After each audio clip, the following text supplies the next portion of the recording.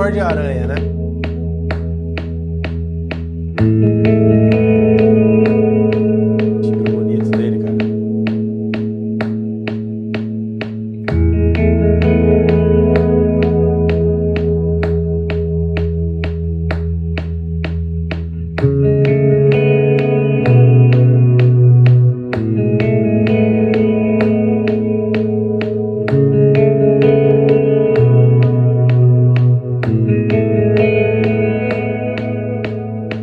Não sei se vocês conhecem, esse aqui é o E. Edwards, que é guitarrista da Elevation Worship. E hoje eu resolvi fazer uma parada diferente, que é trazer agora um guitarrista tocando no quarto, né? Ultimamente tem sido só guitarrista tocando ao vivo e resolvi trazer um vídeo desse guitarrista da Elevation Worship, quase um conceito bem interessante que eu queria compartilhar aqui com vocês, que dá pra gente colocar no nosso dia a dia quando a gente estiver tocando acordes, né? Para fazer com que o nosso acorde soe um pouquinho mais sofisticado, digamos assim, né? Que é o conceito de clusters quando a gente está tocando um acorde, né? Que é para ter justamente esse som grande, né? Muitas vezes para ter som grande não é somente o equipamento que vai trazer isso, mas a forma como você toca os acordes e tal, como você expressa. E aí as ferramentas que você tem na mão vai fazer com que esse som fique maior ainda do que já está, né? Que é usando esses conceitos que eu vou passar aqui para vocês que ele está fazendo aqui. Eu não sei se isso aqui é exatamente uma música, né? Que ele está gravando e tal. Se for uma música, me, diz, me digam aqui no comentário. Eu não conheço, né? Na verdade, eu só vi rolando ali no, no, Instagram, acabei me deparando com esse, com esse vídeo. O conceito de cluster, qual que é então? Cluster é quando a gente tem um intervalo de semitom ou intervalo de tom entre duas notas. Na verdade, para ser um cluster, a gente precisa de pelo menos três notas, mas uma dessas duas notas precisa ter esse intervalo de semitom entre elas, né? Para criar esse som um pouquinho mais denso, né? um pouquinho mais pesado. A gente pode é, levar esse som como sendo um pouquinho mais denso ou com que ele seja um pouquinho mais, mais sofisticado, digamos assim. Por exemplo, tem um acorde que muita gente que toca violão já fez esse acorde, né? Na guitarra também, obviamente. Mas quando a gente tem. Deixa eu fazer primeiro o cluster que tem dentro desse acorde. Ó, por exemplo, vou pegar a nota Fá sustenido que está aqui na quarta corda, na quarta casa, ó. E a nota Sol, corda solta. Quando eu toco só essas duas notas aqui, ó. Fica um som meio indigesto entre as duas notas, ó. Mas quando a gente coloca isso aqui dentro de um contexto, ó.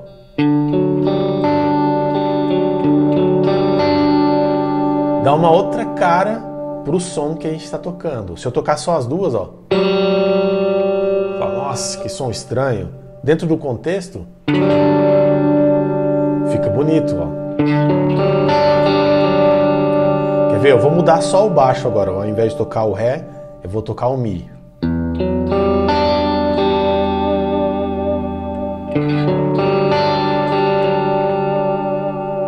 O cluster continuou no mesmo lugar, é a nota Fá sustenido e a nota, a nota Sol, corda solta. Então esse aqui é o conceito de cluster. Por exemplo, o cluster agora com intervalo de um tom entre as, entre as notas dentro do campo harmônico. Quando a gente faz esse famigerado, vou fazer o cluster primeiro, ó, fazer a nota, nota Ré e a nota Mi. Nota Ré está aqui na segunda corda, na terceira casa, e a nota Mi corda solta, ó. As duas fica meio estranho. Agora eu vou colocar dentro do contexto para gerar o cluster, ó.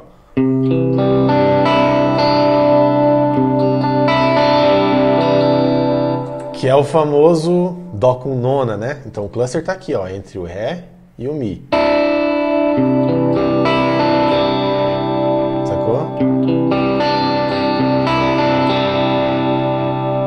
Se a gente toca só as duas notas, fica estranho. Por exemplo, um outro, ó. Quando a gente toca a nota Si e a nota Dó, ó. Olha isso aqui, ó. Que som estranho. Mas olha o contexto, ó. Então, dependendo de como seu ouvido está acostumado a ouvir as músicas, se, se você ouvir música com muita dissonância, isso aqui vai soar bonito. Não digo nem bonito, isso aqui vai soar mais sofisticado, digamos assim, ou isso aqui vai soar muito. Ah, não tô gostando. Porque tem, tem uma certa tensão nisso aqui. Mas também tem uma beleza um tanto quanto diferente, né? Beleza diferente é boa, né? Mas. mas é um acorde que ele está soando diferente, né? um acorde que está soando bonito. Por exemplo, o que ele está fazendo aqui, é, nesse exemplo do, do, vídeo aqui, ele está tocando dois acordes, três acordes na verdade. Então ele está tocando Mi, né? fazendo assim, ó, ele está tocando Mi, Lá e depois ele dá uma passadinha pelo Dó sustenido, Dó sustenido menor. Né? Então a música, digamos que está no campo harmônico de Mi, né? então ele está pegando o primeiro grau de Mi e aí ele toca aqui, ó. Então qual que é? Ó? Toca Mi corda solta, com o dedo 4 aqui, ó. Aí ele tá pegando a nota Sol sustenido, que é a terça maior do Mi, e tá pegando aqui a nota Lá.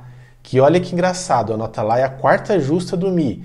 Que a quarta justa, dentro, muita gente fala que dentro desse campo harmônico maior é uma nota a ser evitada. Mas olha como essa quarta justa soa bonito aqui dentro desse contexto, né? Aí depois ele vai manter o mesmo cluster entre as duas notas aqui, entre o Sol sustenido e o Lá, para fazer agora o baixo em Lá. Ó. Aliás, eu esqueci de falar na nota Si, corda solta, né? Que o Si vai ser a quinta do Mi e com relação ao Lá vai ser a nona, né? Vão permanecer no mesmo lugar que está mudando simplesmente o baixo aqui, né? fazer assim para vocês verem melhor.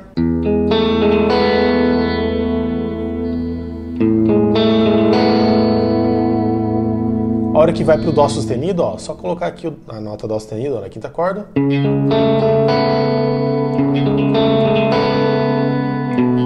Tem uma hora que ele acaba tocando a nota Si, somente o baixo, né? Aí volta de novo.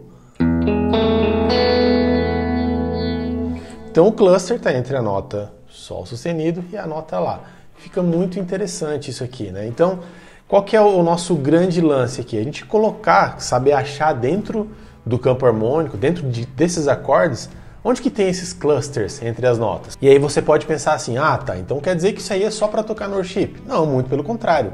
Vários e vários estilos pode ser usado isso aqui. Pode ser usado em música clássica, pode ser usado no jazz, no pop, música instrumental, vários, vários lugares pode ser usado isso aqui.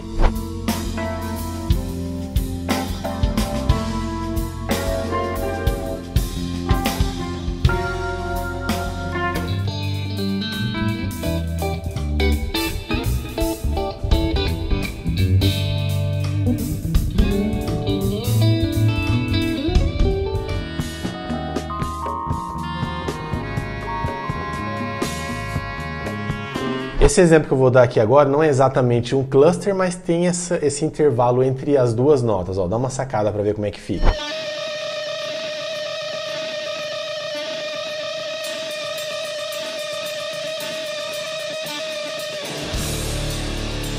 Então isso aqui faz com que o acorde ou solo soe um pouco mais denso, né? mas que da mesma forma também, ao mesmo tempo, ele soa é, mais sofisticado, soe mais bonito. Né? Então depende de como você vai aplicar isso dentro do contexto, depende do contexto que você está tocando esse acorde, entendeu? Depende do grau, como que isso vai soar. Então fica bem interessante isso. Agora me diz uma coisa aqui, rapaziada, comenta aqui para mim. Quando vocês vão tocar acordes, vocês costumam tocar os acordes com dissonância ou somente tríade ou somente microacordes? Quando vai fazer aquela base um pouco mais cheia, coloca essas dissonâncias, me diz aqui nos comentários para eu saber. Porque isso aqui também é uma parada interessante para vocês colocarem e deixar o acorde de vocês um pouco mais rico, né?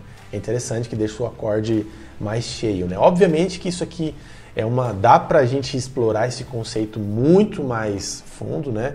Mas como eu quis só trazer essa, esse vídeo aqui para trazer uma dica para vocês, aí depois vocês vão pesquisar mais sobre o assunto, né? Mais um, uma parada que eu já tenho falado aqui nos vídeos é estudem sobre intervalos, porque isso aqui é muito importante. Então, sabendo os intervalos, você vai conseguir é, colocar esses clusters no, nos acordes de vocês. Rapaziada, eu espero que vocês tenham gostado do vídeo de hoje. Não se esquece de deixar um like. E é o seguinte, torne-se membro aqui do canal para apoiar o trabalho que eu tenho feito aqui no YouTube. E as pessoas que estão aparecendo aqui do lado são membros do canal eles estão apoiando aqui no canal. Então, se vocês têm gostado desses conteúdos que eu tenho feito aqui, sejam os covers, as dicas, é, esses reacts aqui trazendo conteúdo para vocês, considere ser um apoiador aqui do canal, que é muito importante o trabalho que a gente tem desempenhado aqui, rapaziada. Espero que vocês tenham gostado. Um abraço. Nos vemos aí no próximo vídeo. Falou!